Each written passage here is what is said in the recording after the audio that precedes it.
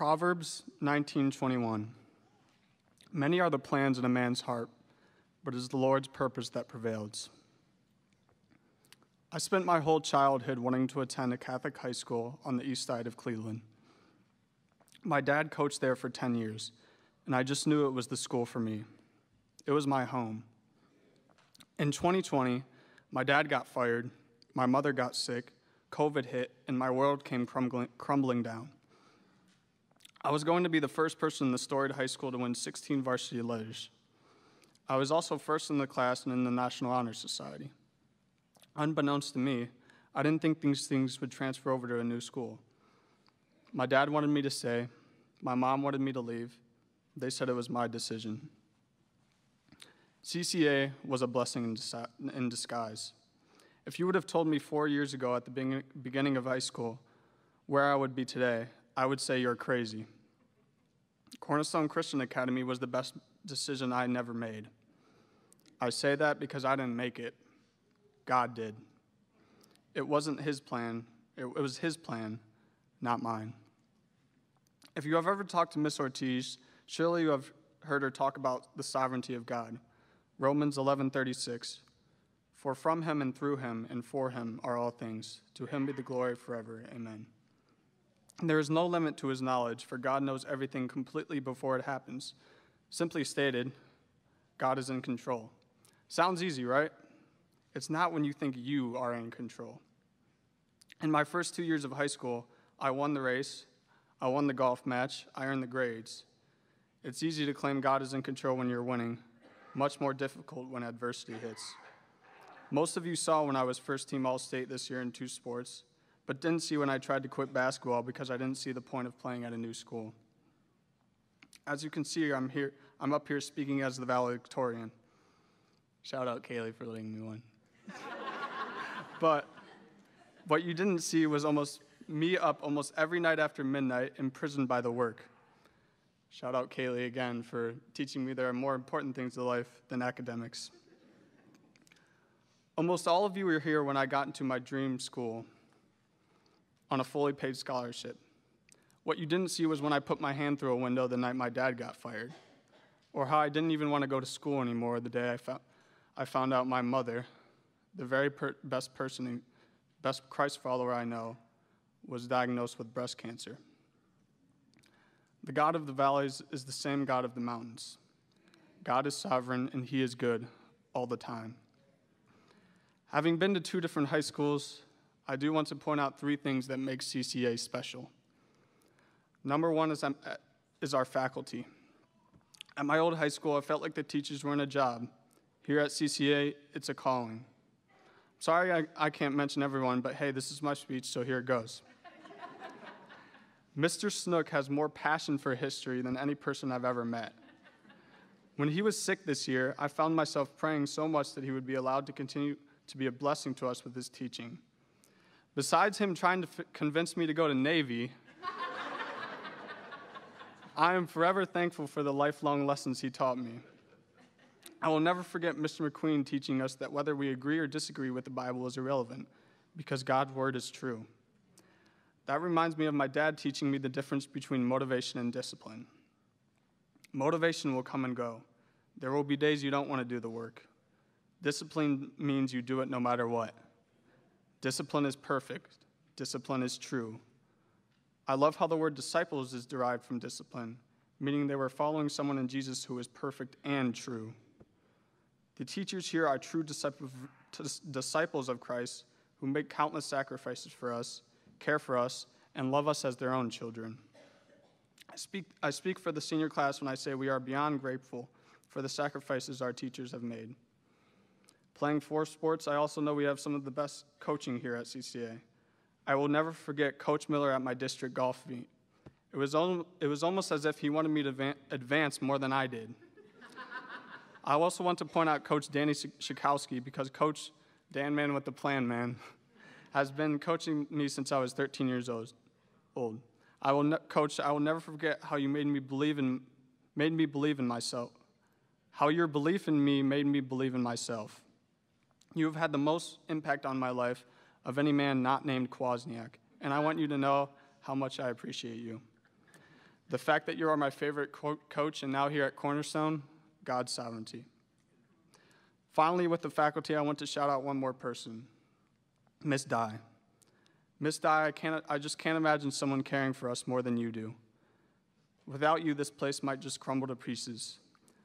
The definition of God's grace is what we don't deserve. Miss Dye, I speak for the senior class when I say we don't deserve you. Seriously, without her here, some of us graduates might not be here today. The second thing that makes the school special are the people. I know we have a small class, but that is not a weakness, but rather a strength. There's not an ounce of jealousy in our class. We love and support each other through the hills and valleys. For example, I remember telling my parents last year that Alyssa might be the nicest person I've ever met in my life. and she is. The Bible tells us that people will be able to recognize we are different just by the way we act. I could tell Alyssa was a Christ follower right away. I love hanging out with the grade school kids, especially Miss Hordinsky's fourth grade class. Listening to their thoughts, answering their questions about God, basketball, or my favorite Marvel characters. They might not realize it now, but they go to a very special school where people care about them and show them how much Jesus loves them every day. I believe God had a plan, but I cannot imagine what a blessing it would have been if I had found CCA when I was their age. They are truly blessed. And how can I forget the greatest lunch table of all time? The laughs we shared making fun of, let's be honest, mostly me, are some great memories. I can't speak for people like Kaylee and Emily who have been here for their whole life, but I never imagined I could meet so many genuine, genuine people when I came here to CCA two years ago. The truth is, I never thought I would get to know so many amazing people and build such close friendships to the point where I could call a lot of my friends family. My closest friends literally live at my house. you know who you are. You know who you are. And finally, Sports Center himself. The first time I ever met Matt Gillam, I said, Why do they call you Billy? And he said, I don't know. like Miss Ortiz said, he is special. And I thought.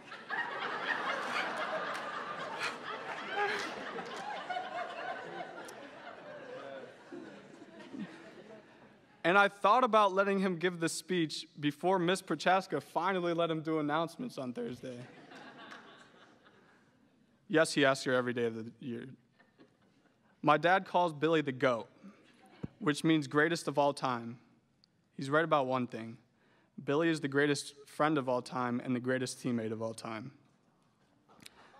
Speaking of teammates, my favorite high school memory was our district semifinal basketball game against Dalton. They beat us by a whopping 33 points the pre- previous year. Anybody who went to that game could have looked at both teams and seen that they were much better individuals. We were a better team. We were brothers in Christ. It felt like the entire school was behind us that day, and you guys were loud, especially Mr. O'Keefe. when the buzzer sounded and the celebration started, jumping around with my teammates, especially seniors Billy and David, in a moment of pure joy is, is a memory I will never forget. At the end, I got to share a hug with my brother, father, and papa. God's sovereignty.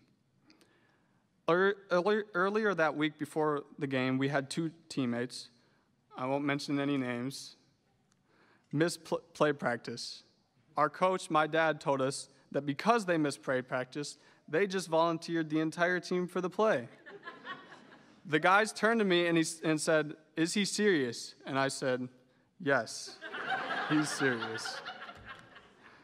God's plan, we ended up having a blast and putting on a fantastic play thanks to the hard work of people like Miss Watson, Miss D'Amico, and Miss Bertram. Ben and Ann were incredible, and the chimney sweeps were pretty good too. the lesson here nothing good ever happens in your comfort zone. One way we glorify God is by loving others. I can honestly say that I've never been to a place where people love each other the way people at CCA love each other. That what, that's what happens when you bring people together who are filled with the love of Jesus. Which brings me to my last point. Finally, and most importantly, what separates our schools is a relationship with Jesus Christ. At my old school, we followed man's law, not God's. God's laws are written in his book, the Bible, Every class we take, every sport we play, every relationship we have revolves around God's Word. As my favorite philosopher, Miss Prochaska, so famously quoted, we are all miserable, rotten sinners. We all mess up. We are all flawed. Yes, Miss Ortiz, when Billy was answering questions, I was giving him the answers. the truth is, we are not, the truth is, we are not our accomplishment. We are not our test scores. We are not who others say we are, and we are not even who we think we are. We are who God says we are.